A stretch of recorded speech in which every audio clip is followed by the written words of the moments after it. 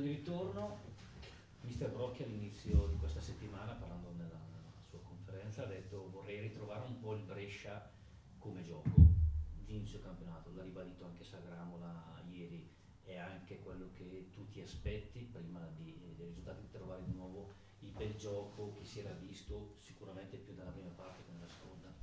Sì, è il nostro obiettivo. Ci ricordiamo che abbiamo fatto delle partite la prima parte belle dove ci divertivamo, divertivamo anche la gente che ci guardava e poi magari invece nella seconda parte abbiamo cominciato a subire meno gol ma a giocare un po' meno bene. Ecco, magari trovare un equilibrio tra queste due parti sarebbe secondo me vantaggioso. È un caso però che quando la squadra giocava aperta, se andava a Verona senza fuori, andava a Cittadella, che allora era capolista, non è che massacrava più sotto tutti i punti di vista, la squadra però era più in alto in classifica. Eh, per forza, vincevamo.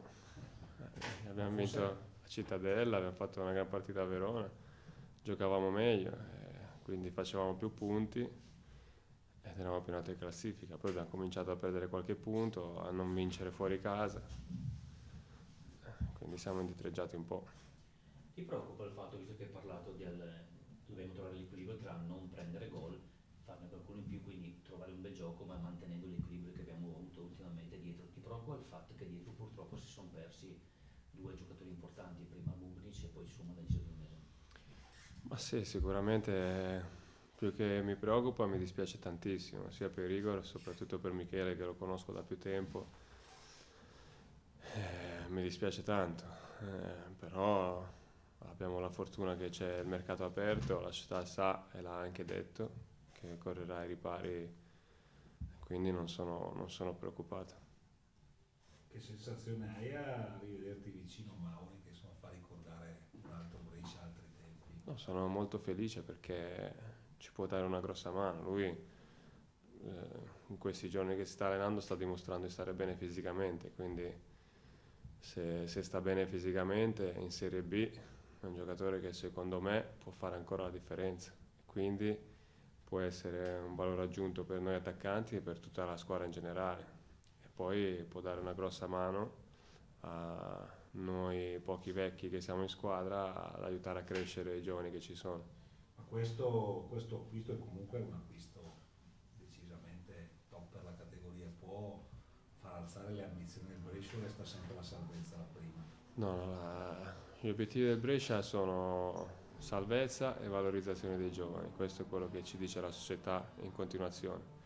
Chiaro che se dovessimo arrivare alle ultime giornate, siamo in piena corsa per i playoff, cercheremo di, di mettercela tutta per, per farli e per, per, raggiungere un sogno, ma il nostro obiettivo rimane la salvezza.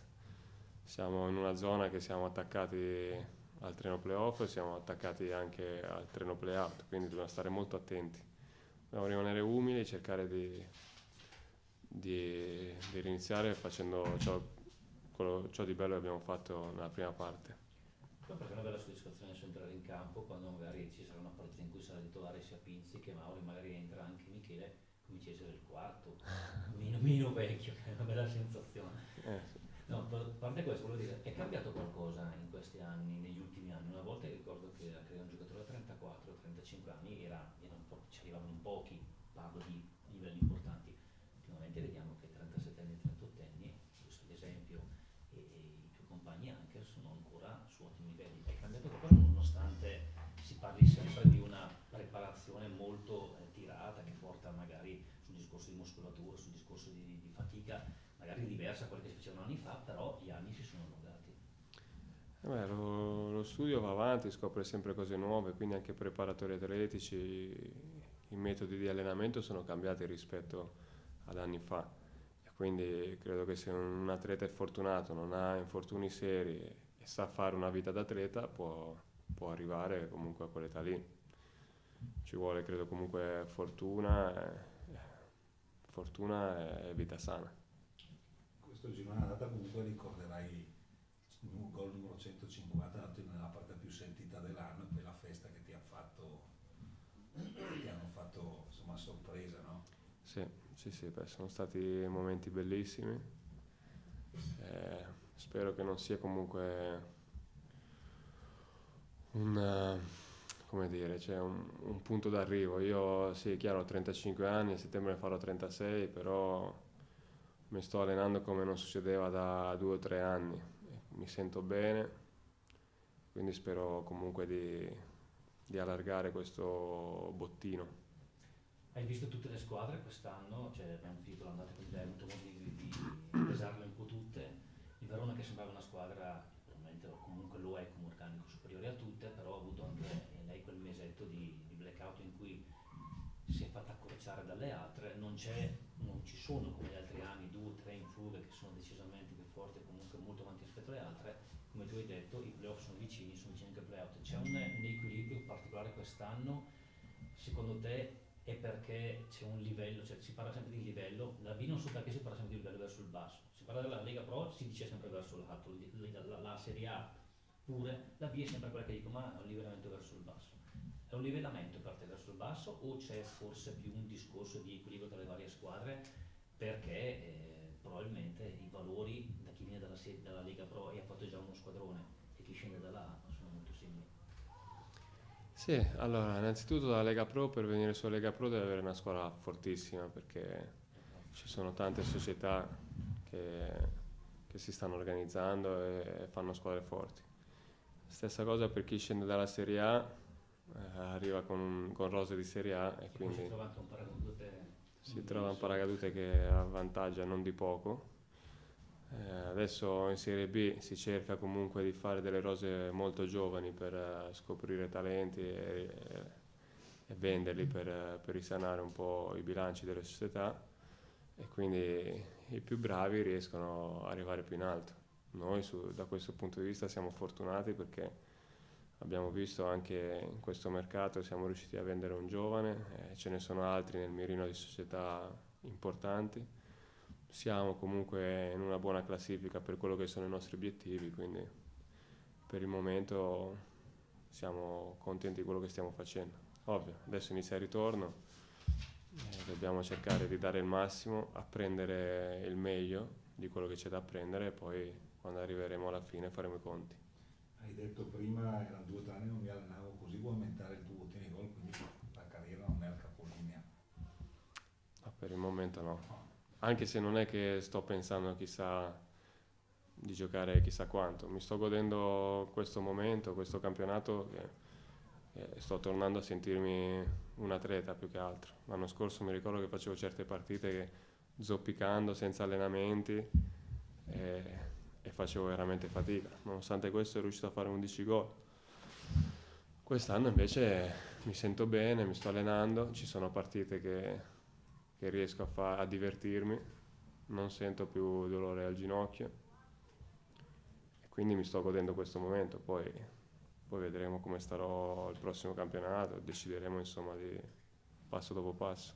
Quindi, però sentendoti nel discorso che hai fatto nella domanda precedente, mi sembrava di sentire parlare un dirigente più che un giocatore. Ti vedi un po' in questo, in questo ruolo? Incominci già a vederti un po' in questo ruolo? Ma ci sto pensando, insomma, anche perché non sono più di primo pelo, no? quindi devo pensare cosa sarà della mia vita. In questo momento ancora non, non riesco a pensarci benissimo, perché non mi ci vedo come allenatore.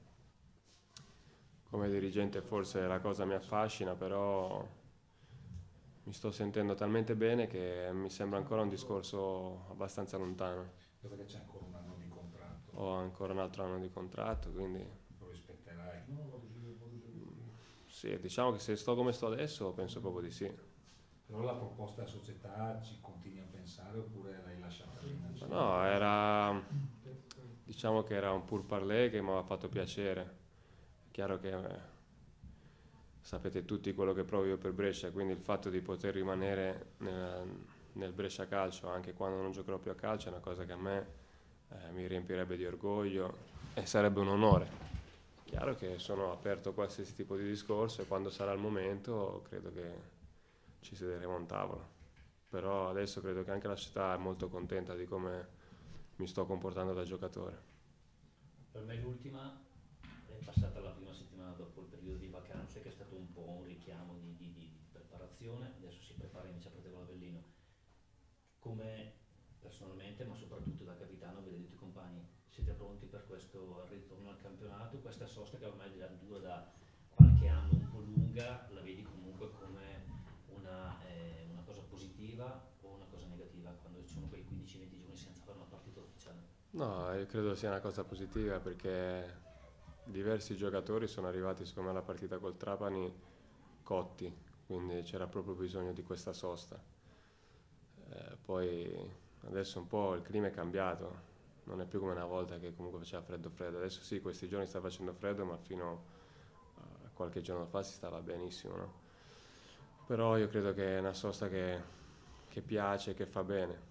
Per quel che riguarda la partita con l'Avellino dobbiamo arrivare pronti, dobbiamo, giochiamo in casa, la prima partita dell'anno in casa, dobbiamo sicuramente arrivare pronti, non possiamo permetterci di arrivare non pronti, anche perché dopo avremo part- due partite fuori casa difficilissime, quindi dobbiamo assolutamente cercare di arrivare pronti alla partita con la Bellina.